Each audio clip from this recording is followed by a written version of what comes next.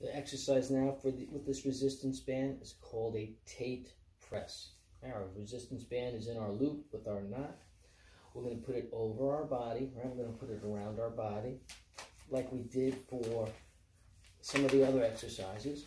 Okay, I'm going to put it around my chest. With one hand, I put my thumb in the middle and I make the fist. I've done this for a couple of them. And now what I'm going to do is I'm just going to bring my arm, and my arm is just going to bend at the elbow. One. Okay, keep it near my body. And then out. Two. Three. And go forward. So it's on my chest. Push out. Five. So the motion is out this way. Bend the elbow. Kind of just using just my elbow. All right.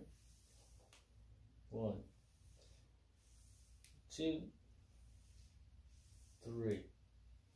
Then you have to do your other side. Again, remember, thumb on my chest, down to the hoop, make my fist, and then it's just keep my elbow still, out. One, two, three.